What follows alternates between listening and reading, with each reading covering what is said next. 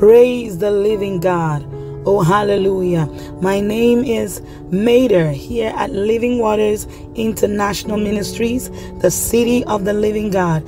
We are located in Houston, Texas 12773 Medfield Drive.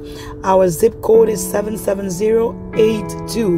The number to reach us is 346 381 7819. Child of God, God has a word for you today.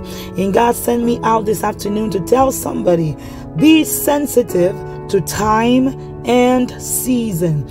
Be sensitive to time and season. Be careful to hear.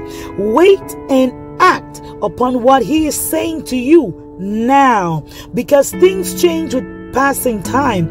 An assignment that was meant for yesterday but was not completed may not be necessary or effective for you to do now because you missed the timing. You must hear and do only what he's saying to you now. Someone you talked to a week ago or someone you love may be an open door for you today. So if he is saying to you, don't share that info with them yet or ever, you got to flow with the Spirit in order to stay current and in alignment. Stop trying to figure things out. Stop asking too many questions. Stop wondering why. Lot's wife wondered why.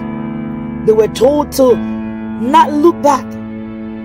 She turned to figure out why. And she got her result. Be current with the Holy Spirit. Be sensitive to time and season.